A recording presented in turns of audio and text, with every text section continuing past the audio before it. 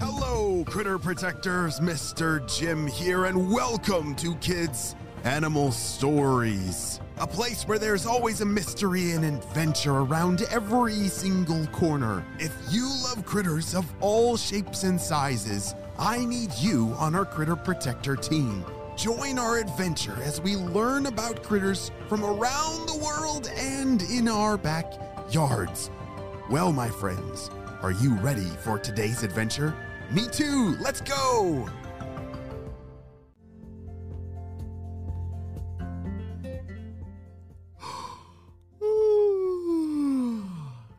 Eli was just waking up from hibernating a very long time. Do you know what hibernating means? Yeah, it's what animals do when it's about to be winter. And then they might build a home or they might dig themselves underground, but it's to protect themselves from the very cold winter. You see a lot of reptiles and a lot of other creatures they they only like to be out and about in the spring, in the summer, and the fall when it's nice outside. Well, there are all kinds of creatures that are not built to live during the snow and the cold in the winter. So Eli, a box turtle, he's one of those creatures that needs to hibernate. So he buries himself underground and sleeps for a very long time. Can you think of another animal that might hibernate during the winter? Hmm, let's see. Maybe a bear? Do bears hibernate? Yes. Yes, they do. Uh, how about frogs? Do you think frogs hibernate? Yes, they do. There are all kinds of different creatures that hibernate during the winter. Well, Eli, as he was waking up, oh, so good Oh, be awake. As he woke up in Mr. Jim's backyard, he was very happy. It was a beautiful spring day. The birds were chirping, and Eli, I'm hungry. Eli started to walk around and look for something to eat. Eastern box turtles, do you know what one of their favorite things to eat? They love to eat fruit, like berries and what are some different kinds of berries that grow in the wild? Maybe blueberries or or uh, strawberries or blackberries. Yeah, they love berries and they also love bugs. Mmm, I love a good juicy worm, said Eli. Ew, uh, I can't believe he eats worms. Well, Eli was having a great day, eating and filling up his belly after a long, long hibernation sleep. And then all of a sudden, another creature that lives in Mr. Jim's backyard flew overhead. Is that the hawk? said Eli. Oh no, I gotta hide. You see, there's a hawk that lives in our backyard who he kind of runs the backyard. He's he is the top of the food chain back here. And Eli knows that. And it's time for him to hide. Do you know how box turtles hide? They are built to be amazing at hide and seek. You see, when you hide, are you able to turn yourself into a rock? Or turn yourself into a tree? Or, uh, no, no, no. We have to hide like behind something, right? yeah, we don't have anything built into our bodies that we can hide in, but Eli does. Box turtles, they have an amazing shell.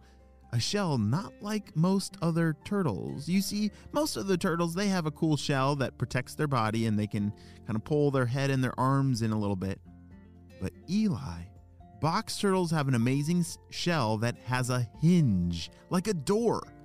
You know, what a hinge is? A hinge is what our doors are connected to the wall with. So, what the thing that makes the door in your bedroom close and open is the hinge that connects it. Yeah, there might be two or maybe three of those hinges. Have you seen those things move before? Yeah, well, Eli, he has hinges built into the bottom of his box turtle shell. And so he can close up everything so that he's completely secure and safe. It's a pretty cool trick because Eli's actually he's not very fast. So he cannot outrun that big hawk. But he can completely protect himself. So, as he was hearing the hawk flying overhead, he had to hide. Oh no, my shell's not closing. What's wrong? Uh oh. Something was going on with his hinge.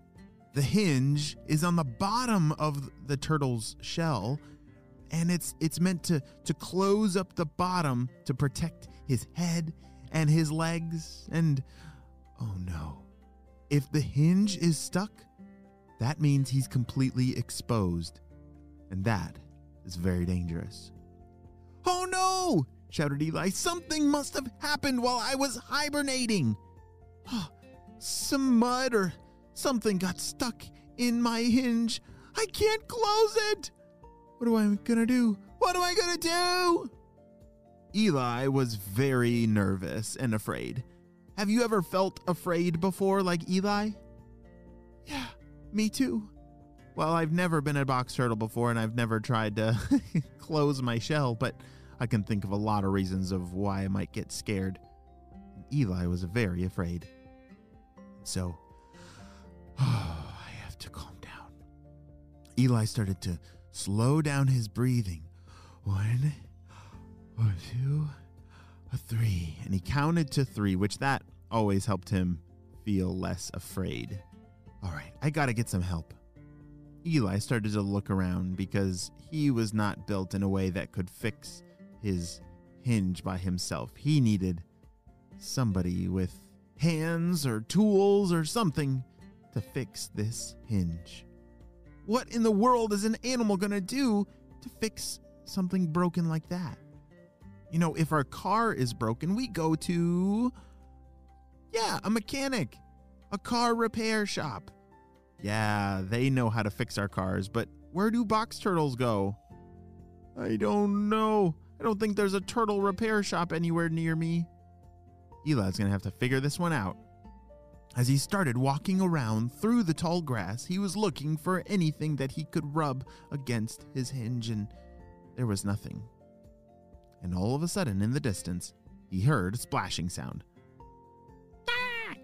Oh boy, that was so fun! I'm gonna do it again! he remembered.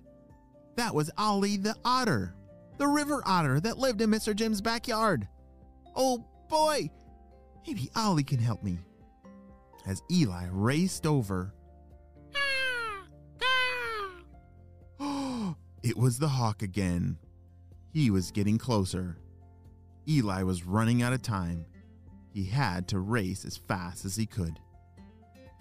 Oh no! Is Eli the box turtle gonna make it to the river in time to ask Ollie for help? I hope Ollie the otter is able to help him. And we'll have to wait and see what happens on the next episode of Kids Animal Stories to see if Eli the box turtle is going to be saved in time. The end. Hey friends, I need your help celebrating a birthday. Drumroll, please. Happy birthday, Eddie, who's turning six years old. Eddie loves monarch butterflies, making art, and being a big brother. Wow, Eddie, I'm so glad we got to celebrate you and your big day on the show. Happy sixth birthday. Well, all my Critter Protector friends, I hope you have a super duper day, and I'll see you on our next adventure. Bye!